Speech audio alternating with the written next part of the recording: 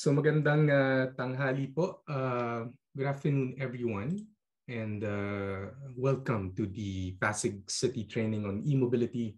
Uh, this is being delivered on behalf of or within the Solutions Plus project, which is a global e-mobility project that is being supported by the European Commission as a H2020 project, Horizon 2020 project.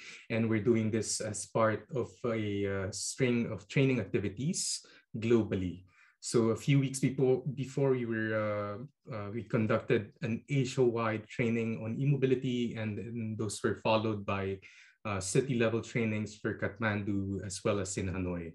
So today we would be talking um, mostly about the, the planning for EV charging. And we are going to be uh, blessed by a distinguished panel of speakers. I'll be going through um, them, uh, the, their bios later. But uh, just to start, po, uh, just a few basic information about the session. So first, uh, please note that the uh, session is being recorded. The recording and the presentations will be made available afterwards. The session is also being live streamed from the Clean Air, Cleaner Asia Facebook page. Um, I've uh, put the uh, the link po dyan chat box natin. If you can also share it uh, to, to your colleagues who might be interested in watching, that would be great. Um, and uh, secondly, we have muted everyone by default, so the session, you know, won't be uh, disrupted accidentally. Um, but when you talk later during the discussions, just click on the microphone icon and um, if you encounter any challenges on that, please send us a message. Um, you can also choose to have your camera on. Um, but however, just to minimize disruptions, kindly switch them off during the presentations and in, in the meantime. And we can have the Q&A later during, and then you can switch it back on. Um, if you have questions, please submit them via the, uh, the chat box or um, we also encourage um, um, this session to be uh, interactive. So if you want to talk, uh, you can raise your hand and uh, we can unmute you or you can unmute yourself. So um, we would have dedicated time for uh, discussions later. Um, but yeah, um, if, if you do have uh, questions within, you know, during the presentation, you can chat them in the chat box. for also for, for um, sorry, can you go back please? Sorry. Um, so yeah, yung naming convention po natin, mas makakatulong sa amin if you can also put the organization name after your name. Uh, ganyan lang po. Ano? And then again, please feel free to ask uh, questions. The, the session is, uh, we, we have um, several distinguished uh, international speakers today. Um, but yeah, please uh, please feel free if you want to, you know, post questions later if you're Filipino, Taglish, uh, yeah, it would be great. Um, mas importante ko sa atin ngayon yung ano, interaction din. So next slide, please. Ah, okay. So just to briefly introduce myself, my name is Alvin. I work for the Wuppertal Institute, and we're part of the uh, Solutions Plus project, um, which is uh, aiming to accelerate the uptake of e-mobility globally. And the project is working with uh, 10 uh, demonstration cities globally in Asia. Uh, Pasig is a key city that we are working with. Um, next slide, please. Okay, just to give you an outlook. Um, so the first day for, uh, again, this is being uh, done as part of the Pasig City um, trainings for the Solutions Plus. We have talked about the operation and maintenance of EVs in the first day. And yesterday we had um, a close look at the different policy tools um, towards accelerating e-mobility while balancing uh, uh priority goals in terms of safety and access. And today we would be talking about the planning for EV uh, charging. And uh, tomorrow, uh, which would be the last day, we will be talking about the e-mobility transition at the city level, roles and applications. Um, next slide, please. Um, so again, today uh, it's all about EV charging, which is a key pillar for um, the uptake of e-mobility. Um, usually po ang discussions um, at the level no ng ng mga developing countries and cities mostly right now it's still being concentrated on the uh, electric vehicle side of things but we also need to recognize the um, the importance or the prerequisite of uh, EV charging and EV charging infrastructure policies as well as regulations. So today we would be um, talking about uh, these concepts and um, we have a distinguished panel of um, uh, speakers today.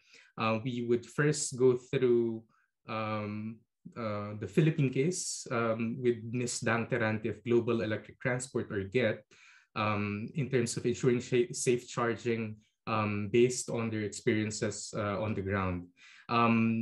Next uh, presenter, we would have Vittorio Ravello from uh, CRF, who will be talking about the technical prerequisites and considerations for EV charging. And then we'll go later um, to the charging types and standards in the Philippine settings. Doc Manny Biona will be talking about that. Um, we have uh, Dr. Chu-Rei Cheng from the National Keng uh, Kung University would be talking about experience in Taiwan, and uh, Nuwong Chollacoop, uh, Dr. Nuwong is uh, also from uh, uh, Thailand. No? From, he would be talking about the, the role of governments in EV charging development in, in Thailand. So if you see, um, medyo nag-switch lang po kasi yung, ano natin, yung presentations natin with Doc Manny and Ms. Dang because of scheduling conflict, but supposedly the technical presentations will be upfront and then the experiences um, uh, later on. But we uh, we accommodated the the need for the change in schedules.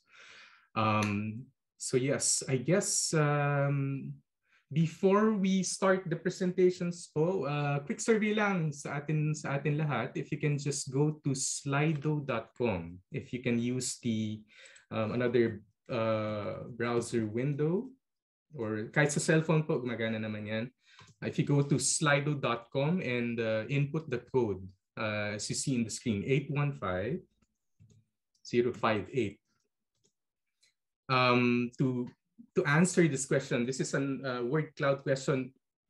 Ang mag-type lang po kayo ng, ng keywords na naiisip nyo when you hear the word or the phrase electric vehicle charging, what are the key challenges that come to mind when you hear the phrase electric vehicle charging? Um, we would uh, give you maybe a minute to do so, um, just to get a feel of um, the concepts that you're thinking of, and also for our um, uh, speakers who are already um, joining us now, to you know to, give you know give them a better idea of uh, what is the the thinking behind the uh, the challenges. Essentially bakit tayo nandito ngayon? Uh, iniisip natin? Yeah so we have a lack of charging facilities, um, challenges regarding location, charging um, challenges regarding standards, infrastructure, accessibility, compatibility is very important, interoperability, no? Um, yes, compatibility is uh, now being highlighted. Yeah.